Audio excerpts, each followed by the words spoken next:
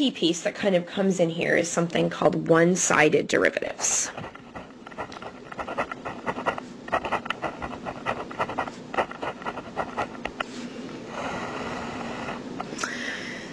So if I'm given the function, okay, if I want f of x to be equal to x squared plus 4, where x is less than or equal to 1, and negative x plus 6 when x is greater than 1.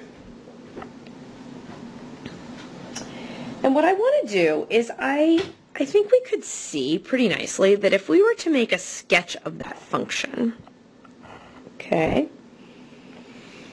I have a parabola, and again, this is just a sketch. I've got a parabola here, okay, and then at 1, it changes into a line with a negative slope. So something, I want to figure out what's going on there at 1. So what I'm going to do is I'm going to look at the derivatives from both sides. So I'm going to look at f prime of 1 from the left. So this is a notational piece. I've got f prime, I know that's derivative, at 1 from the left. Okay? And again, I'm going to use my limit definition. Okay, so I'm going to look at the limit as h goes to 0. I'm going to set it up as x plus h squared plus 4, that's my f of x plus h, minus x squared plus 4, all over h. Now there's a nice trick here. Again, I'm going to try to plug in 0 because it is a limit. Plug it in there for h, and the 0 is undefined. So we need to kind of think of some work to do. Now the nice part about here is if you're having, if you're approaching a point that you actually know, so is f prime of 1 from the left, you want to know what's happening with the derivative at 1.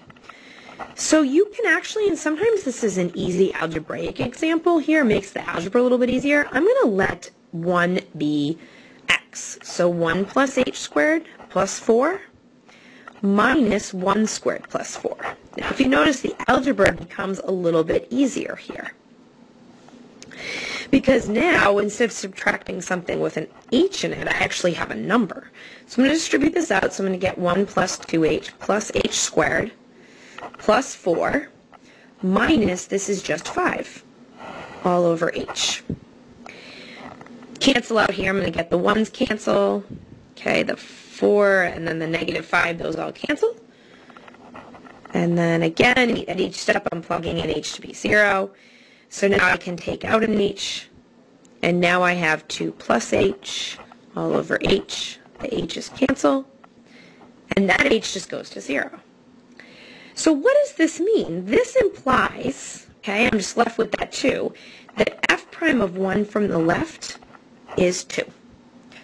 So instead of getting an answer with x's in it, I'm actually getting an exact answer, which sometimes can save you a little bit of time on the algebra. Okay? Let's look at f prime of 1 from the right.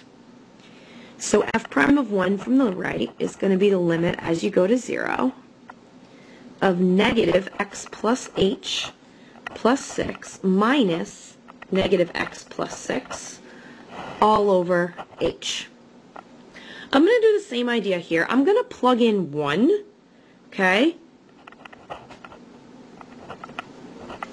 I'm going to plug in 1 because I want to know what's happening exactly at 1. Even though it's approaching 1 from the right, I'm going to look at what's happening exactly at 1. Okay?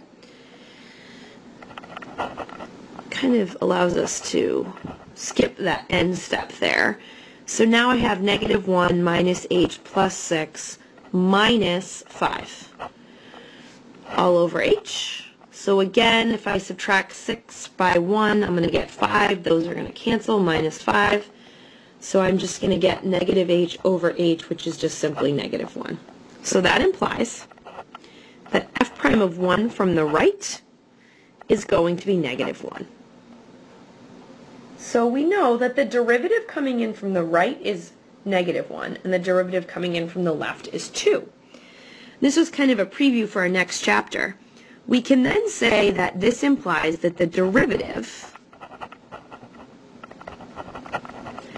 of f of x at x equals 1 is dne because f prime of 1 from the right doesn't equal f prime of 1 from the, excuse me, f prime of 1 from the left doesn't equal f prime of 1 from the right. And I, in the next section, section 3.2, we're going to talk about something called differentiability. And that gets into when derivatives are going to be defined at points and when they're not.